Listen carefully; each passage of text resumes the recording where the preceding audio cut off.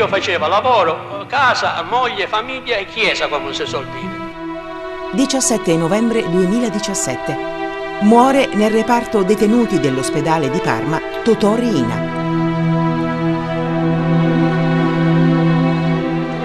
Totò Ucurtu, Bernardo Provenzano, morto il 13 luglio 2016, formava la terribile e sciagurata coppia di Cosa Nostra. Era l'immagine più cruda e netta dell'anima stragista della mafia. Nato a Corleone in una famiglia di contadini, si legò presto al capomafia Luciano Ligio e a 19 anni fu condannato ad una pena di 12 anni per aver ucciso in una rissa un suo coetaneo.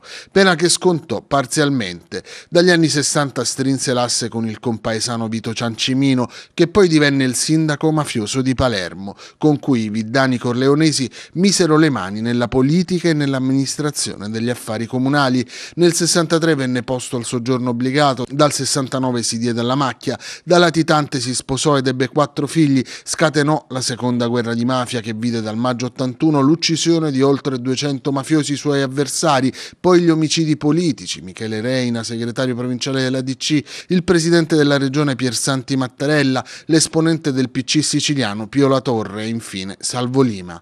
Un duro colpo, il potere di Rina, lo subì con il maxi processo di Falcone Borsellino. A maggio del 92 l'attacco frontale allo Stato, la strage di Capaci nella quale fu ucciso Giovanni Falcone. 57 giorni dopo toccò a Paolo Borsellino in via D'Amelio. Seguirono le stragi continentali. Fu arrestato il 15 gennaio del 93 dai Ross dei Carabinieri. In un'aula di tribunale disse di non essere mafioso. Questi